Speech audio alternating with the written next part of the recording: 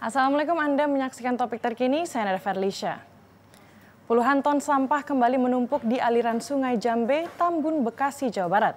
Sampah yang tersangkut di gorong-gorong jembatan tol Jakarta Cikampek ini menjadi pekerjaan rumah yang belum terselesaikan pemerintah Kabupaten Bekasi. Puluhan relawan pencinta lingkungan kembali membersihkan sampah di aliran sungai Jambe dengan alat seadanya. Potongan kayu sampah rumah tangga dan sampah plastik menumpuk dengan ketinggian 50 cm menutupi air kali yang mengalir. Meski berulang kali dibersihkan, sampah kiriman dari kota Bekasi ini terdorong aliran air hujan menuju Kabupaten Bekasi. Sampah kemudian tertahan di gorong-gorong jembatan yang membentang di atas jalan tol Jakarta Cikampek dari arah timur menuju barat. Meskipun para relawan sering membersihkan sampah di aliran sungai Jambe, namun sampah seakan tidak pernah habis dan terus menumpuk di aliran sungai.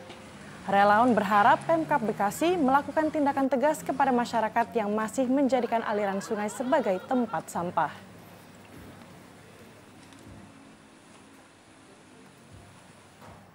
Pemirsa demikian topik terkini, saksikan acara kami selanjutnya. Saya Nada Ferlisha, wassalamualaikum.